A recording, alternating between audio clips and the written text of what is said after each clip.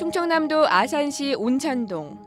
1995년 온양시와 아산군이 하나로 합쳐 온양온천동이란 이름이 탄생했는데요. 아산시의 새로운 상업과 교통, 행정 중심지로 떠오른 곳입니다. 1300여 년의 역사를 간직한 온양온천은 옛날 왕들의 병을 치료하던 온천궁으로 유명하죠. 6, 70년대에는 신혼여행의 단골 코스로 지금은 온 가족 나들이 1번지로 많은 이들의 사랑을 받고 있는데요. 아산 수도권 전철 개통으로 충청을 넘어 수도권에서도 찾는 전국 제1의 온천 명소가 됐습니다. 일제 강점기를 거쳐 6.25 전쟁 이후 두 개소의 온천장을 시작으로 지금은 30여 곳 넘게 온천장이 성업을 하고 있습니다.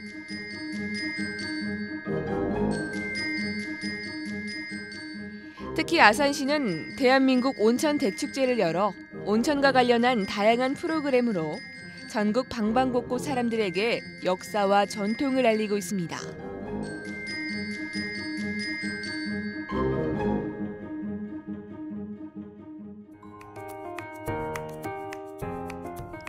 쌀과 곡식을 파는 전통시장이었던 싸전 골목.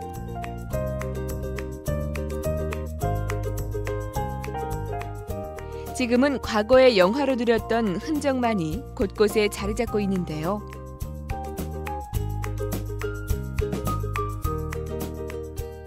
시간이 흐르고 세대를 넘어 호련히 자리를 지키고 있는 터줏대감 가게가 살아있는 역사의 지킴이 노릇을 합니다. 주차장과 도로로 사용되던 온천천.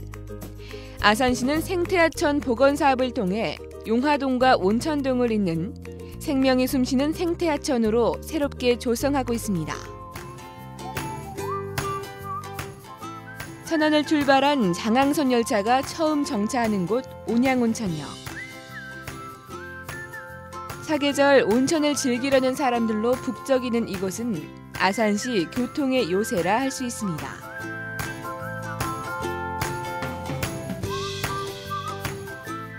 시장에 가면 그 지역의 정서와 풍물을 느낄 수 있죠. 온양온천역 풍물 5일장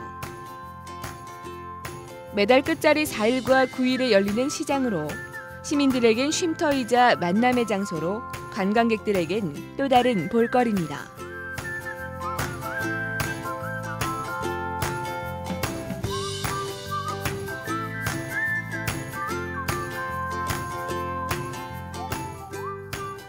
온양온천역 광장 옆자리에 자리 잡은 조격 체험장.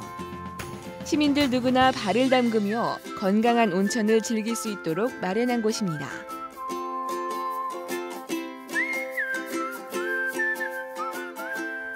온천이라는 키워드로 역사와 전통을 지키고 관광 명소로 거듭난 이곳.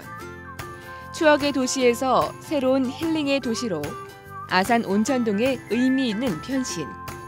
그 미래가 더욱 궁금해집니다.